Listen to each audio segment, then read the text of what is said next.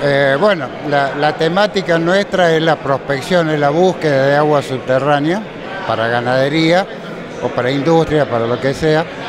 Y la temática es cómo se hacen los estudios, la base y este, como paso final es la construcción de, la- las aguadas. Eh, en la mayoría de los campos se encuentra agua, por ahí no están las estructuras adecuadas para esta sequía, pero este, en, lo- en general eh, se encuentra una solución.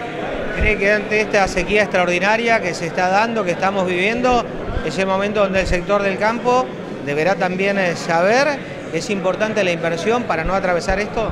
Exactamente, la inversión es, es fundamental.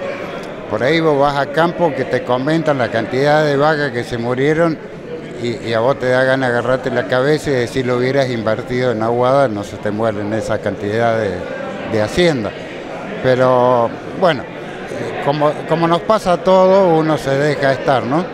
Pero también la, la parte de ganadería, el productor, va a tener que ajustarse a las nuevas técnicas.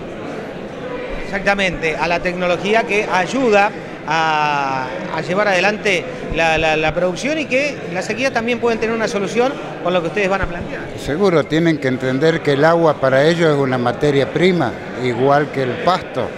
Sin agua no podés producir, es fundamental. Bueno, Carlos, seguramente muchos van a aprovechar la charla esta noche, aquel que está viendo la nota por televisión. Si tiene alguna consulta, ¿cómo se contacta con ustedes? Eh, bueno, o vía telefónica o a través de Gustavo Veloteri, tiene los contactos nuestros también. Este, no sé, ¿querés el teléfono? Bueno, el teléfono, más allá de tenemos No. el de Gustavo. Sí, tenés el de Gustavo. Gustavo tenemos un, un diálogo permanente.